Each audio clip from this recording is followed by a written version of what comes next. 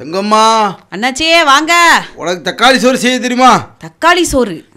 தக்காளி சோறு செய்ய தெரியாத வீட்டில் ஒரு பொம்பளை இருக்க முடியுமா? இல்ல இன்னைக்கு கோயம்புத்தூர்ல தக்காளி சோறுலாம் போட்டு ஜாம் ஜாம்னு அசத்தி விட்டாங்களாம்ல. அதை சொல்லுது எல்லாம் அப்ப ரோஸ் மில்க்கும் சேர்த்துல சொல்லணும். ஆ. சரி நாட்டு நடப்பு இப்படி இருக்கு. ரொம்ப மோசமா இருக்கு அண்ணாச்சி. ஆமா. நாட்டு நடப்பு இப்படி இருக்கு சொல்லக்கூடாது. மோசமா இருக்கு. ஆமா. இந்த நாளில் தான் நமக்கு வழிகாட்டிய பல நல்லவர்கள்லாம் பிறந்திருக்காங்க.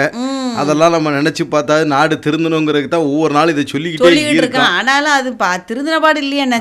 இன்னைக்கு தான் இந்தியாவினுடைய நான்காவது குடியரசுத் தலைவர். வி. வி. கிரி அவர்களுக்கு பிறந்த நாள் ஆயிரத்தி எண்ணூத்தி தொண்ணூத்தி நாலில் பிறந்தவர். அதே மாதிரி எழுத்தாளர் சாவி எழுத்துலகத்தில் தனக்கென்று ஒரு தனி பாணியை உருவாக்கியவர்.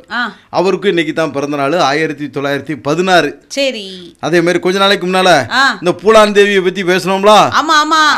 அவங்களுக்கு இன்னைக்கு பிறந்த நாள் அன்னைக்கு நினைவு நாள் இன்னைக்கு வந்து பிறந்த நாள் ஆயிரத்தி தொள்ளாயிரத்தி அறுபத்தி மூணு இதே நாள்ல தான் அந்த பூலான் தேவி.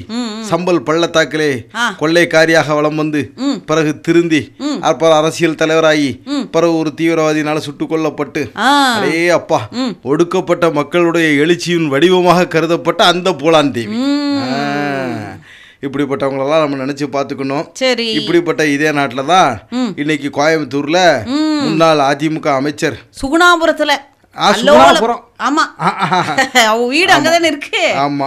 அங்கதான் என்ன இப்படி அல்லோல கொரோனா ஏற்கனவே அங்கதான் நிறைய இருக்குங்க அவ. இருக்குங்காக என்ன கூட்டம்? ஆமா. அது அவர் அமைச்சரோட உள்ளூர் செல்வாக்க நினைச்சு பெருமைப்படுறதா. அல்லது இப்படி உள்ளூர் மக்களை ஏமாத்தி அவங்க இப்படி பண்ணிட்டாங்களேன்னு ஒரு குற்றச்சாட்டை அரசாங்கம் வச்சிருக்க? இந்த ஐபின்னு அண்ணாச்சி. ஆமா ஐபி நம்பர் ஐபி நம்பரு அதை வச்சு கண்டுபிடிச்சிட்டாவா? கண்டுபிடிச்சாவளோ? நூத்தி முப்பது டெண்டர் போயிருக்கான். அப்படியா? ஒரே கம்ப்யூட்டர்ல இருந்து. அப்படியா? இந்த வழக்குல எது உண்மை எது பொய்ன்னு நமக்கு தெரியல.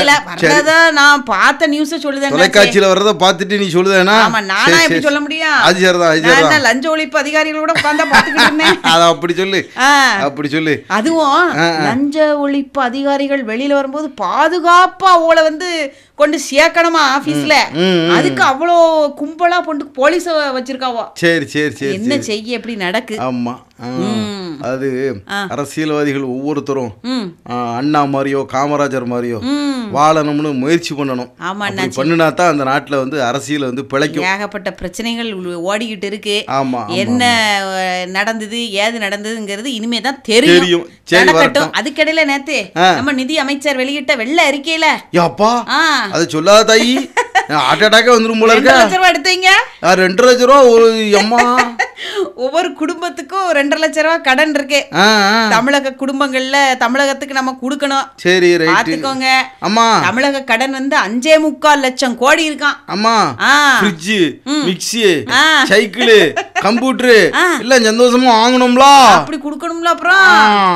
அதான் அப்படி ஆகி போச்சு சரி ரைட் ஓகே. சரி. மொத்தத்துல இந்த அரசியல்ல வந்து ஒரு மிகப்பெரிய ஒரு மாற்றம் வந்து வந்தால்தான். எதனால நல்லது நடக்கும் சரி ரைட்டு. இந்த அண்ணா பல்கலைக்கழகம் இருக்குல்ல? ஆமா. அதுல புதிய துணைவேந்தர் வந்து நியமனம் பண்ணியிருக்காங்களாம் நம்ம ஆளுநர். சரி. கவர்னர் வந்து டாக்டர் வேல்ராஜ் அப்படிங்கிறவள வந்து முப்பத்தி மூணு ஆண்டுகளா அவ வந்து பேராசிரியரா பணிபுரிஞ்சு ஓஹோ. நல்ல அனுபவம் உள்ள ஒரு பேராசிரியர். சரி ரைட் அதனால அவளை வந்து புதிய துணைவேந்தரா வந்து நியமிச்சிருக்காவோ. சரி சூரப்பா மாதிரி இல்லாம இருந்தா சரிதான்.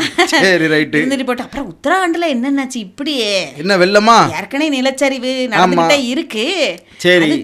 நம்ம ரோட ஒட்டி உள்ள அந்த மலை பகுதி வந்து விழுந்துட்டான். ஐயோ பயங்கரமா விழுதுன்னாச்சு சரி ஆ, பார்க்கவே பாவமா இருக்கு. ஐயோ வண்டி எதுவும் போகாதனால பொழைச்சிருக்காவோ. சரி என்ன செய்ய முடியும்னு நினைச்சு பாருங்க. அதானே. இயற்கை வந்து ரொம்ப ருத்ர தாண்டவம் எடுத்துக்கிட்டு இருக்கு. ஆடிட்டு இருக்கு என்ன? ஆமா. சரி ரைட் வேலூர் சென்னையில பயங்கர மழையாம. ஆமா ஆமா கேள்விப்பட்டேன் என்னத்த சொல்ல போங்க. அப்புறம் ஊசி ஏற்கனவே போடணும் போடணும்னு சொல்லிட்டு இருக்கோம்ல ஆனா நிறைய ஊசி போட ஏன்னாச்சு இப்படி பயப்படுதாவோ ஆ? அதுவும் ஊசி போட்ட ஆட்கள் ஒரு சில ஆட்கள் வேற மாதிரி பேசுது? எனக்கு அதுல இருந்து இந்த பிரச்சனை வந்தது. எனக்கு இதுல இருந்து இந்த பிரச்சனை வந்ததுங்காங்க. சரி. அப்ப எதை நம்பனே தெரிய மாட்டேங்கன்னாச்சு சரி சரி சரி என்னவோ நடக்க. ஆனா இவ்வளவு கலவரத்துலயும். நூறு சதவீதம் ஊசி போட்டிருக்காவா? அப்படியா? எந்த ஊர்ல? ஒரு இடத்துல. எந்த இடத்துல? தென்காசியில. தென்காசிலையா ஆமா. நூறு சதவீதம் எல்லாரும் ஊசி போட்டாச்சா? அழகப்பபுரம். எல்லா இடத்துலயும் சொல்லல அதானே கேட்டேன். நான் மாவட்டம் முழுக்க போட்டாங்களோ நினைச்சிட்டேன். அது சீக்கிரம் போட்டுருவோம் போட்டுருவோம்னா? ஆமா. ஏ அப்புறம் திருநெல்வேலி விடப்படாத? ஆமா விடப்படாதுதான். சீக்கிரமா ரெடி பண்ணிடுவோம் மக்களாத்தையும் ஆனா தமிழ்நாட்டுல ரெண்டாவது இடம் நம்ம வாங்கியிருக்கோம். சரி. ஆனா நிறைய ஊசி போட்டிருக்கோம். ஆனா முழுமையா போட்டோம்னு சொல்ல முடியாதுல்ல? சொல்ல முடியாதுல்ல? ஆமா அழகப்பபுரத்துல ஆயிரத்தி இருபத்தி ரெண்டு பேர் இருக்காவலாம் சரி. திருவேங்கடம் பேரூராட்சி வார்டுல அறுநூத்தி பத்தொன்பது பேர் இருக்காவலாம் ம், அவ எல்லாரும் போட்டாச்சாம். சரி சரி அதனால என்ன செடிஞ்சிருக்காவோ அப்படின்னா அங்க தென்காசி கலெக்டர் அது இந்த அந்த வார்டு சம்பந்தப்பட்ட அந்த ஊர் சம்பந்தப்பட்ட அந்த அரசு அதிகாரிகள் அதுக்கு பொறுப்பேற்றிருப்பாவுல்ல. அந்த ஆபீசர்ஸ்க்கும் அந்த மெடிக்கல் கேம்ப் நடத்திருப்பாவுல்ல அவ எல்லாரையும் பாராட்டி பரிசுகள் எல்லாம் கொடுத்து அவார்டு எல்லாம் கொடுத்துருக்காவோ. ஓஹோ பரவாயில்லையா. ஆமா. பெரிய விஷயம்லாம் என்னாச்சே? சரி சரி எல்லாரும் போட்டாச்சா போட்டாச்சான்னு கேட்டா தானே போடுவோவா? ஆமா ஆமா அது அவ பொறுப்பு தானே. அப்ப அவளை உற்சாகப்படுத்துறதுக்கு அப்படி செஞ்சிருக்காங்க சரி. அதுக்கப்புறம் ஒரு ஏற்கனவே நீங்க சொன்னீங்களா சீனாலனாலே அந்த யானை. ஆமா. யானையைத்தான் பிடிக்கும். ம் ம். அது பார்க்கவே அழகா இருந்தது நல்லா ஆமா. அதே மாதிரி. இங்கேயும் நீலகிரி பக்கம் குன்னூர் பக்கத்துல சரி. தேயிலை தோட்டத்துல புதர்ல போய் ஒரு யானை குட்டி போட்டு ஐயோ அது அதுக்கு ஏன் ஐயோ எங்கேயோ அது ம- மறைவா இருக்கணும்னு போயிருக்கோம். ஆமா. குட்டி போட்டுட்டு சரி. பெரிய யானை வந்துரும். சரி. குட்டி யானை இப்பதானே பிறந்திருக்கு அது எப்படி வரும்? ஆமா. அது கஷ்டம்ல. ஆமா. ஆனாலும் பெரிய யானை விடல. தாய் தாய் தானே. எந்த பிராணினாலும் சரி மனுஷனாலும் சரி தாய்க்கு இணையா யார் வர முடியுமா? ஆமா ஆமா எப்படியாவது மேல கொண்டு வந்துரும் சொல்லி அதுக்கு வழிப்பாதையை எப்படியாவது ஏற்படுத்தி. அவன் நான் பார்த்தோம்ல. தாய் யானை வந்து அப்படியே அந்த தும்பிக்கையை போட்டு. குட்டி யானையை பிடிச்சி இழுக்கு. குட்டி யானை அப்ப பாக்கல சொல்லுது பாரு விட்டுறாதீங்க எப்போ. விட்டுறாதீங்க எம்மோ?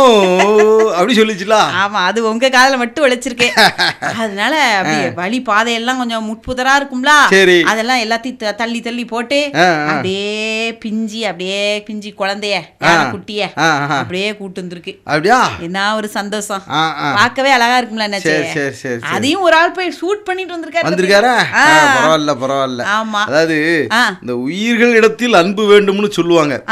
ஆனா இப்போ உயிர்களிடத்தில் மட்டும்தான் அன்பு இருக்கு மனுஷன்ட்ட இல்ல. நூறு சதவீதம் உண்மை என்னாச்சு? அதனால தான் இப்ப நமக்கு இந்த மாதிரி காட்சிகள் எல்லாம் பார்க்கும்போது. கண் ஓரத்துல ஈரம் அப்படியே கசியுது. நீங்க சொன்ன உடனே எனக்கு விசில் அடிக்கணும் போல ஆசையா இருக்கு. அந்த அளவுக்கு தான் உண்மைக்குமே எப்படி தத்துவமா பேசிவிட்டோம் பாத்தியா? உண்மைதான் உண்மைதான். சரி தங்கம்மா. சரி. நீங்க நேத்து சொன்னீங்கல்ல. ஏற்பாடு பண்ணி குடுத்துட்டேன். ஆமா ஆமா அதான். சொல்ல வந்தேன் தங்கம்மா. வெற்றிகரமா. தங்கையா தங்கம்மா நிகழ்ச்சியை தொடங்கி இன்றைக்கு வந்து தொண்ணூத்தி ஒன்பதாவது பதிவு நம்ம வந்து வெளியிடுறோம். நாளைக்கு வந்து நூறாவது நாள். நூறாவது நாளை முன்னிட்டு இந்த நூறு நாட்களும். நம்ம கேட்ட எல்லா கேள்விக்கும் தொடர்ச்சியாக அதிகபட்சம் பதில் சொன்னவங்களுடைய பெயர் பட்டியலே. அது தப்பானாலும் சரி அது சரியா இருந்தாலும் சரிதான். ஆமா. தொடர்ச்சியா அதிகபட்ச நாட்கள் கொடுத்தவங்க பேர் பட்டியலை. நாளைக்கு நம்ம நிகழ்ச்சியில அறிவிக்கிறோம். யாரெல்லாம் பரிசுக்குரியவர்கள்ங்கிற பெயர் பட்டியலை நாளைக்கு நம்ம நூறாவது நாள் நிகழ்ச்சியில அறிவிக்கிறோம். அறிவிச்ச இருபத்தி நாலு மணி நேரத்துல ஆ. அவங்க கையில பரிசு பொருள் கிடைக்கிற மாதிரி ஏற்பாடு செய்யணும். ஒருவேளை அவங்க வெளியூர்ல இருந்தாங்கன்னா. அவங்க தபால் விலாசம் கொடுத்தாங்கன்னா கொரியர்ல நம்ம அனுப்பிச்சு வச்சிடறோம். ஏதாவது ஒரு வழியும் பண்ணணும்ல நம்ம? ஆக நூறாவது நாள் நாளைக்கு வெற்றிகரமா நம்ம அதை எதிர்பார்ப்போம். இன்னைக்கு தொண்ணூத்தி ஒன்பதாவது நாள் நேத்து தொண்ணூத்தி எட்டாவது நாள் இல்ல இல்ல சும்மா தமாசுக்கு சொன்னேன். அந்த தொண்ணூத்தி எட்டாவது நாள் நம்ம என்ன கேள்வி கேட்டோம்? வழக்கத்தையும் விட்டுறக்கூடாதுல்ல? அதுக்காக தான் கேட்டுவிட்டேன். தொண்ணூத்தி எட்டாவது நாள் என்ன கேள்வி கேட்டோம்? பஞ்சு அருணாசலம். இளையராஜாவை எந்த படத்திலே அறிமுகம் செய்து வச்சாருன்னு கேட்டிருந்தோம். ஆமா. என்ன பதில் வந்திருக்கு? வந்திருக்கே. என்ன வந்திருக்கு? பிரியா. அன்னக்கிளி. அன்னக்கிளி. மாரிமுத்து. அன்னக்கிளி. அன்னக்கிளி. மீனா சொர்ணக்கலா. அன்னக்கிளி. அன்னக்கிளி. நாகராஜ். அண்ணாச்சே. கடலங்குடி எங்க இருக்குன்னு தெரியாதா. எங்க இருக்குன்னா திருவாரூர் மாவட்டம் கொடவாசல் தாலுகாவில் தான் அண்ணாச்சி அந்த கிராமம் இருக்கு. அப்படி சொல்லுதாங்களோ? ஆமா. கடலங்குடி எங்க இருக்குன்னு அது ஏதோ இந்த துபாய் பக்கம் திருவள்ளூர் தெரு பக்கத்துல விவேகானந்தர் பஸ் ஸ்டாண்ட் பக்கத்துல இருக்குன்னு நினைச்சுக்கிட்டேன். நல்லா சொல்லுவியா? தங்கம்மா அக்காவுக்கு இந்த விஷயம் தெரியும் என்னாச்சே. உங்ககிட்ட கூட மூச்சு விடல பாத்தீங்களா. நமக்குள்ள சிண்டு முடிச்சு விடுதாரு சரி சரி அப்புறம் நாகராஜா அவளே திருப்பி போட்டிருக்காவா? அப்புறம் இளையராஜாவை பஞ்ச அருணாச்சலம் அவர்கள் அறிமுகப்படுத்திய திரைப்படம். அன்னக்கிளி அண்ணாச்சி. சரி. அப்புறம் தங்கையா அண்ணாச்சிக்கு ஒரு வேண்டுகோள். மிக மிக ரகசியமான ஏரியா ஐம்பத்தொன்னு. எந்த நாட்டில் உள்ளது? இந்த மாதிரி கொஞ்சம் யோசிக்க கூடிய கேள்விகளை கேளுங்களேன். ஓஹோ. வேண்டுகோள் அப்படின்னு கொடுத்துருக்காரு. சரி ரைட்டு. ஆனா பதில் இல்லையா கார்த்தியாயினி வரலையே. உங்களுக்கு வந்திருக்காது. எனக்கு வந்துட்டலாம் என்ன? போன் பண்ணின உடனே. பதில வாயிட்டு சொல்லுவாங்கன்னு நினைச்சேன். சரி. போன் பண்ணி பாட்டா படிச்சிட்டாவா? என்ன? அண்ணா கிளி அண்ணா கிளி அப்படின்னு பாட்டா படிச்சிட்டாவா? பார்த்தேலா. சரி ரைட் ஓகே சரி. அப்புறம் இன்னைக்குள்ள கேள்வி. கொஞ்சம் கஷ்டமா கேளுங்க கஷ்டமா கேளுங்க தொடர்ந்து அண்ணாச்சி கஷ்டமா கேட்டா அப்புறம் எல்லாரும் அனுப்பணும்ல. சரி ரைட்டு கொஞ்சம் மீடியமா கேட்டுருமே. சரி. இன்னைக்கு பூலான் தேவி பிறந்த நாள் இன்னைக்கு சொன்னோம்ல? ஆமா. இந்த பூலான் தேவியினுடைய வாழ்க்கை வரலாற ஹிந்தியில ஒரு சினிமாவா எடுத்தாங்க. சரி. அந்த இந்தி திரைப்படத்தின். பெயர் என்ன? தங்கையாவின் கேள்விகளுக்கு சரியான பதிலை கமெண்ட் பாக்ஸில் தெரிவித்தால் பரிசுகளை வெல்ல வாய்ப்பிருக்கிறது.